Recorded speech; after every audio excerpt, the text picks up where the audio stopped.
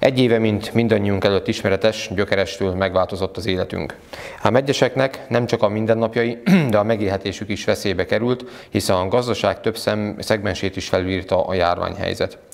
Ezek az ömében családi vállalkozásként működő mikro, kis és középvállalkozások mára szinte teljesen csődbe mentek az egy éve tartó számukra végzetes korlátozások miatt.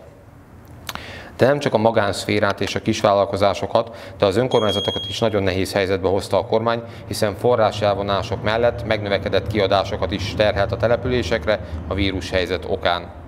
A vesztesek mellett azonban nyertesei is akadtak a járványhelyzetnek, hiszen a gyógyszeripar, a multik és a tekóriások minden eddiginél nagyobb, nem látott extra profitra tesznek szert, kiszorítva ezzel azokat a piacról, akiknek tevékenységük eddig a biztos megélhetésüket jelentette.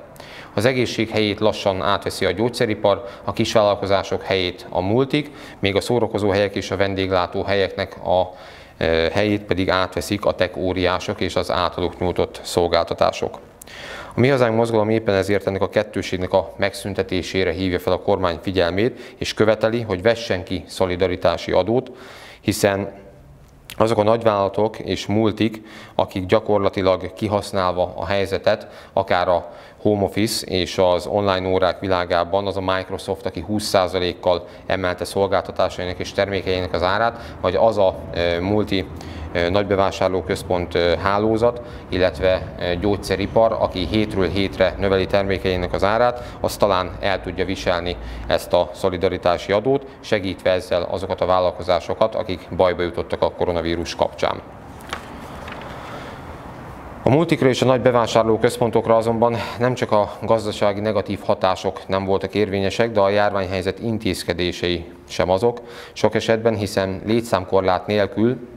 sokszor fertőtlenítőszer és a személyes távoltartás hiányával is 120%-on üzemelnek. Egészen abszurd az a helyzet is, melyre szimpatizánsaink hívták fel a figyelmünket, miszerint az a Tesco, mely gőzerővel üzemel, az épületében található üzlethelyiségek pedig